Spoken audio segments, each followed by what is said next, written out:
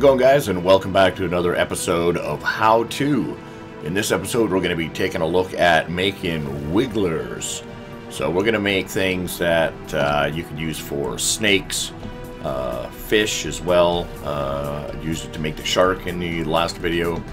Uh, you can use it to make flying things as well. I used it to make the rainbow serpentine. I'll show you how to set that up as well.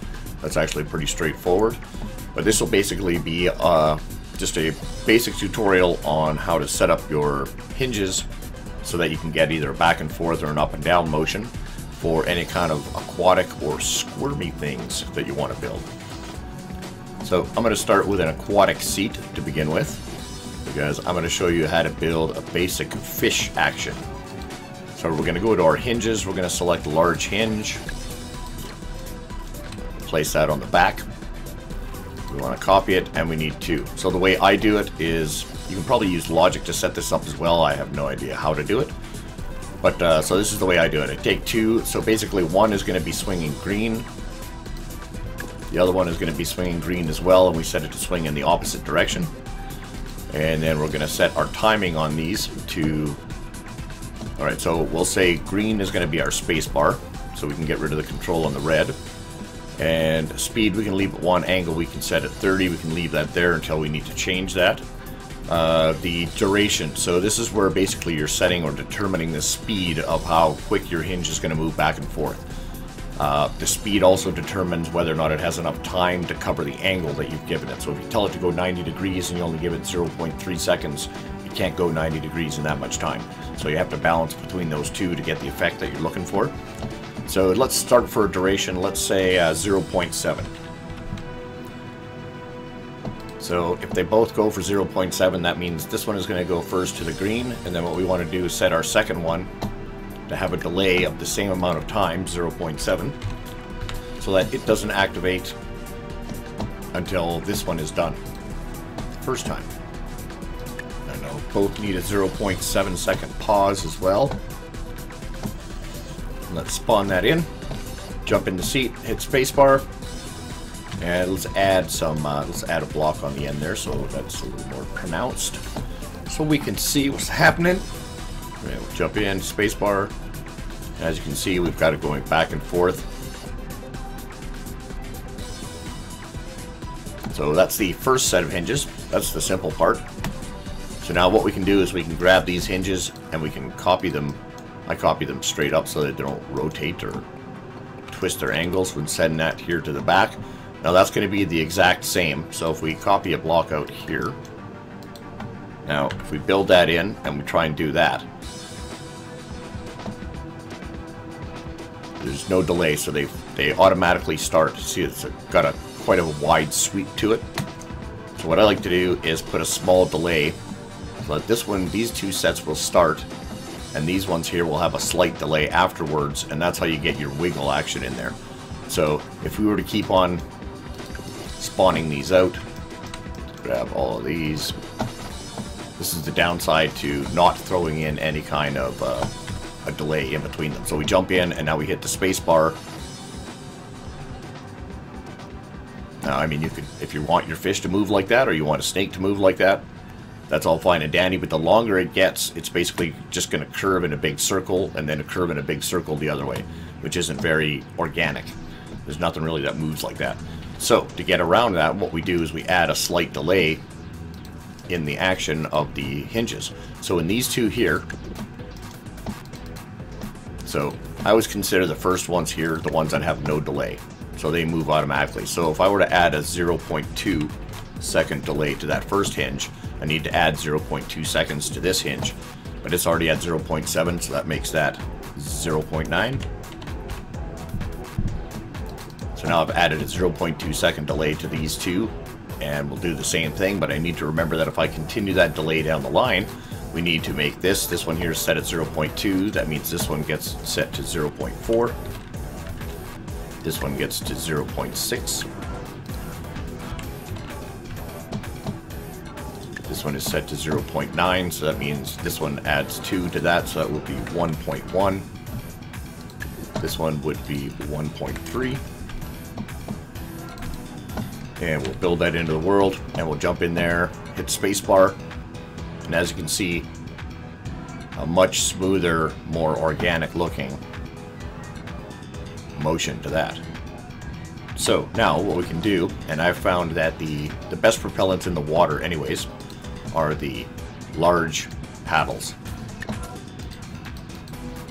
So we can rotate this. Let's stick a couple of these on the back. And then it will spawn into the world, into the water, and we'll see if this actually propels us forward. Can't really tell if it's propelling us at all because we're falling straight to the bottom. So we'll get down here and rebuild so it'll be flat. And now we'll hold spacebar and see if this actually moves us forward. As you can see, it is moving us ahead slightly. Six or seven kilometers an hour. So again, this is keeping it fully bionic as well. So that's basically how you make a snake. You can change the speed of all of these. Let's say, let's set them up to two.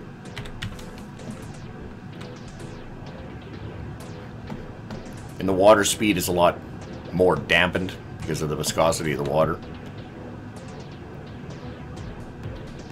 Let's see, if we were to add... Let's go with a couple of small slope pieces like this. And we'll see if that gives us any more speed. Hold space. Well, I can see one thing that it is doing is it's preventing the rotation, but we are moving a little bit faster, as you can see.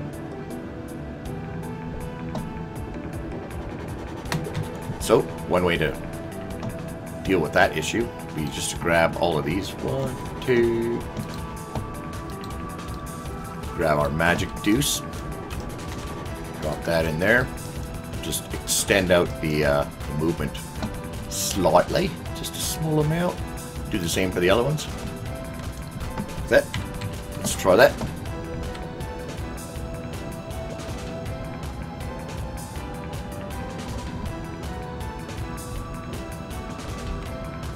Definitely moving faster. But it's dragging on the bottom. Oh, it's a dragon. No, it's not a dragon. I it's dragon on the bottom. Aye. Alright, let's add a couple of small... You know, these little wee little flotation device. Maybe we'll go medium one, I guess. The problem here is... We've got to move these ahead by one, I believe. So we're not getting the action that we should be getting. Like that. Let's build that in. I say that a lot, don't I? As you can see, be a bad, bad guy to work at a school for the blind. As you can see, we've got... Yeah. So, you can see the action of the uh, the snake and those those uh, large paddles actually work pretty well for propelling through the water. Now you just need some stabilizing fins and some control surfaces. You can make that as long as you want. Just wants to swim to the surface now.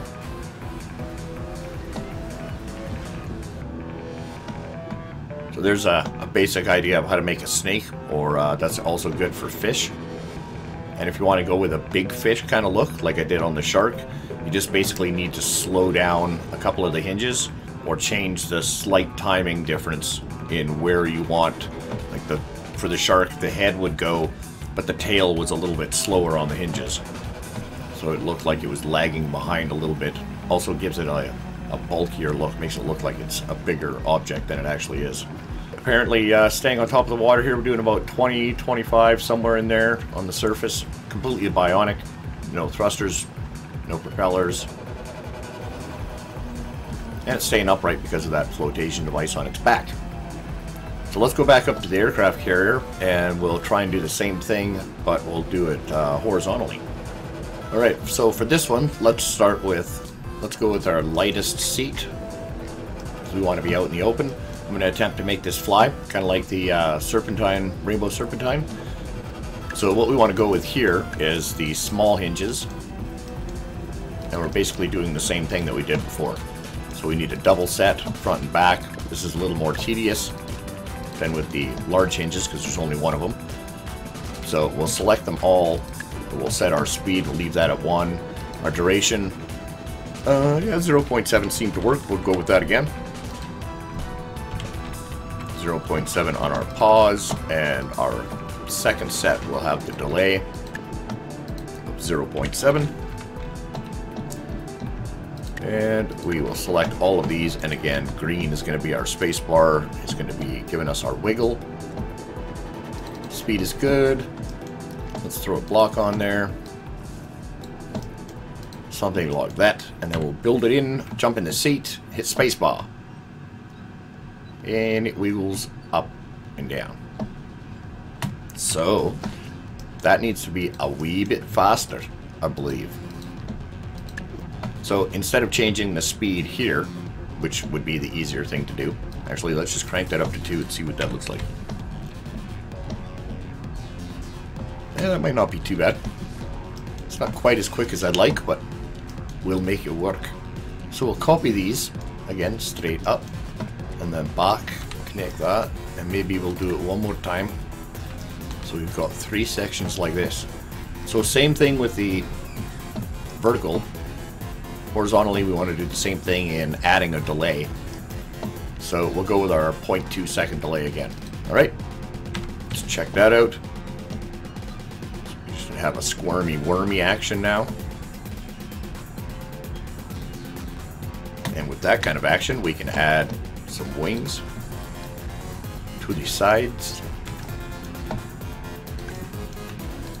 like this I'm going to copy these back to here and then copy these back for to here and these ones back for to here and then we're gonna know we're gonna try and fall sideways. So we want to put some stabilizers on there just to keep it straight. And let's try and see what that does. Uh, that does nothing. Okay, but the wings have the weird effects, so we're gonna copy these ones out one more time and then on this side and now we're gonna try again. Looks like he wants to go backwards. he's going backwards, man. So, going hammerhead style here. Again, it seems like it wants to go backwards. Well, let's put these at the back that. Try that.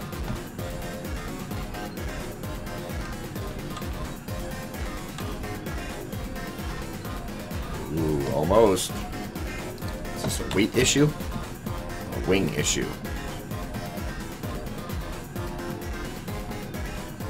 Alright, and let's try making at the front with a little less angled movement. We'll go down to, let's say, 15. So it's not slammed into the ground so much and wants to stay more level. And we'll see if the rest of the wings actually give us enough motion to push us. Or our squirm time isn't right. So, what's this for radical? So we'll select our tail hinges here. I'm going to flip them 180 degrees. Now let's do an inchworm.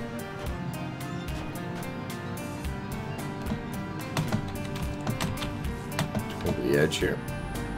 Let's see if this thing actually has the ability to even keep itself in the air. Come on, what are you doing? What are you doing? Whoa! Maybe we'll have the nose going up first. So we'll just reverse these hinges.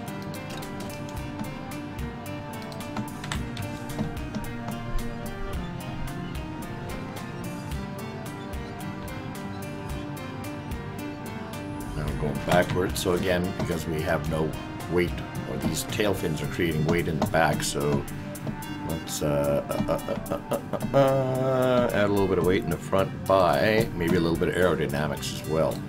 It should give us a little bit more weight in the front. See how it likes that.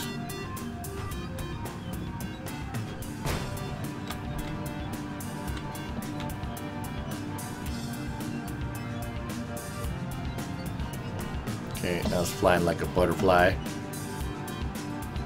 Now let's just double up some of that weight on the front here by copying this around. Give it a flip. Same thing with these. Flippity flop. Oh. Over here. That should give us some extra weight now. See if we can get it to pull ourselves forward.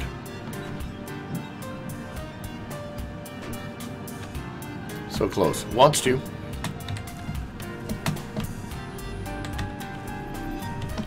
Just doesn't like the friction from the ground. Once it gets off the ground and it has the movement range, it seems like it wants to keep itself in the air. So, just for shits and giggles, let's throw a mini thruster on the back. See, I'll make that left shift. Just use those to give us some forward motion.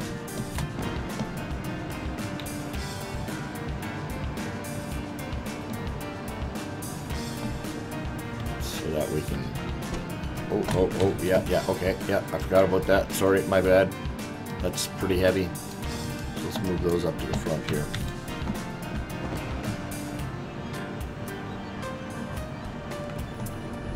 So now it seems like we have a little bit too much weight in the front. And as you can see, if we turn the thrusters off now, ooh, ooh, ooh, I gotta push down. Yeah, we're ornithopter style now. So I'm pull, holding back on W, and then it, but again, this is a pretty short body length as well, so it's, it's gonna wanna rotate. So yeah, you can just make this as long as you want. Add as many wings as you want on either side. So yeah, that's basically how to wiggle. How to make things that wiggle. Vertically, horizontally. But yeah, don't forget to hit thumbs up. Hit that like button. Leave a comment. Don't forget to subscribe if you haven't already. Hope that helped you out. If you enjoy what you see here, check out some of this content on the end screen. We'll see you guys in the next one. Going for a swim. Ciao.